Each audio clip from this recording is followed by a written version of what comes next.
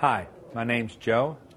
I'm at Break Time Billiards in Wilmington, North Carolina, and I'm going to tell you a couple of methods that you can use to keep your shaft of your pool cue clean.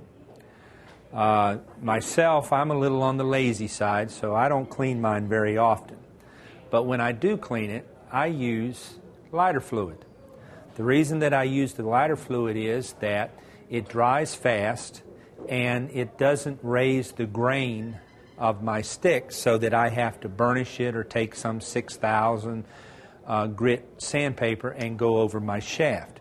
All you do is you take a paper towel and you spread some lighter fluid on it and then you just rub it up and down the shaft. And as the paper towel gets dirty, you take another one and you keep doing it until you get the cleanness that you want. Uh, now, some people will use a magic eraser. Uh, that they say that that works very well. I've never used one, but then they'll say that after they finish using it, they'll have to burnish their shaft because it raises the grain just a little bit.